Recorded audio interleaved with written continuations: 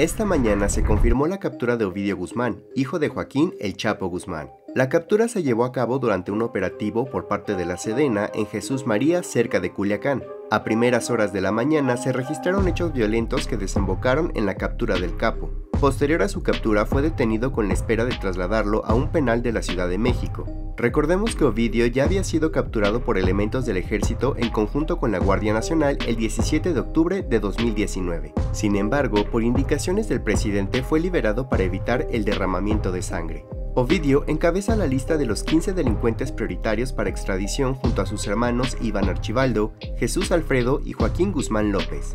Desde hace unos años, el gobierno de Estados Unidos buscaba extraditar al hijo del Chapo y curiosamente, previo a la llegada del presidente Biden a México, se logra su captura. También se registró una balacera en el Aeropuerto Internacional de Culiacán, la cual vincularon con la captura del también conocido como El Ratón. La administración del aeropuerto ya se pronunció al respecto e informaron que este permanecerá cerrado de 8.30 de la mañana a 2 de la tarde. ¿Tú qué opinas de la captura de Ovidio Guzmán?